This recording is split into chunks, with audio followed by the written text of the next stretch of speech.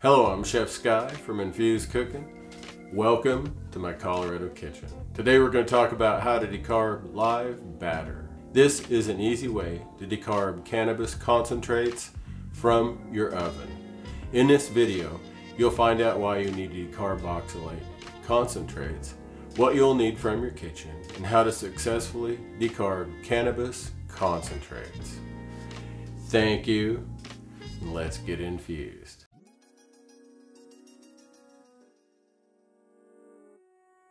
Decarboxylating cannabis concentrates is similar to decarboxylating cannabis flower.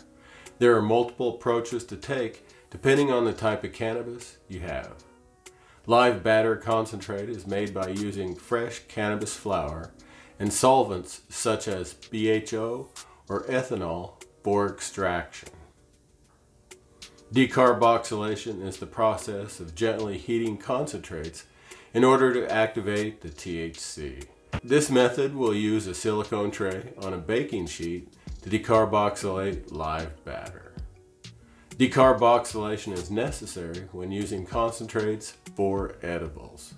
Whether you're using flower or concentrates, you still must decarb it in order to turn the THCA into THC.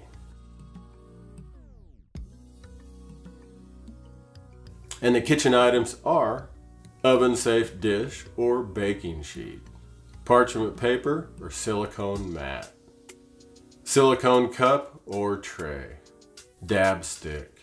And the ingredients are one gram of cannabis concentrate, live badder. To start the process, preheat your oven to 240 degrees Fahrenheit. Line your baking sheet with parchment paper or a silicone mat. Place the concentrate in the center of the baking sheet inside a silicone tray or cup.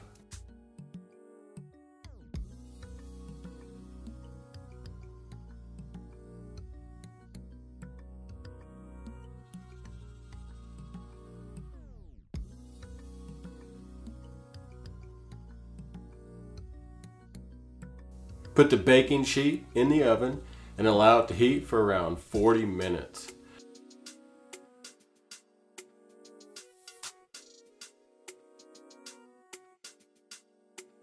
Wait for the cannabis extract to melt completely.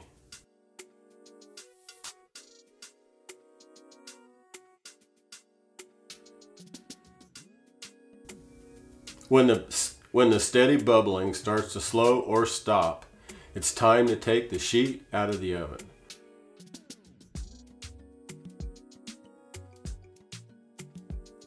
Do not allow the concentrates to cook for too long. Cannabis concentrates that get too hot will degrade. Stirring the concentrate will also create more bubbles. After the concentrate is removed from the oven, the bubbling slows or stops.